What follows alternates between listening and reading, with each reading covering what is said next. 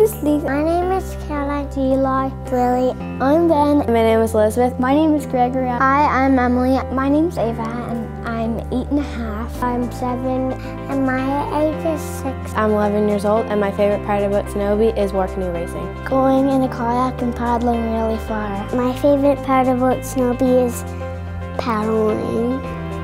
Hi, I'm Rob Barrett, and I'm the head coach here at Senobe Aquatic Club. Here at Senobe, we run our programs from 9 in the morning to 5 in the afternoon, with many opportunities to paddle on the water, paddle with their friends, make new friends, play on the beach.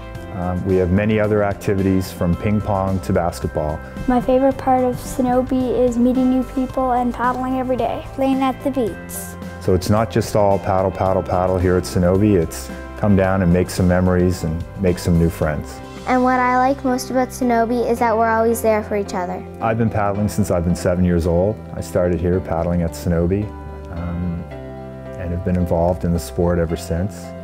It's fun to see people being successful at all different levels. So not so much winning races, but you know, sometimes success is getting your balance. Sometimes success is going home with a smile on your face. You know, sometimes success is parents picking up kids and kids not wanting to go home. My favorite part of Senobe is paddling. My favorite part about Senobe is war canoe.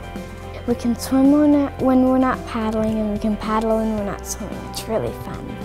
So I think really at Senobe that's what it's all about. It's not so much how many gold medals we win or how many races we lose, but you know, making memories that last a lifetime. At the end of the day, that's what sport's all about. My favorite thing at Senobe is everything.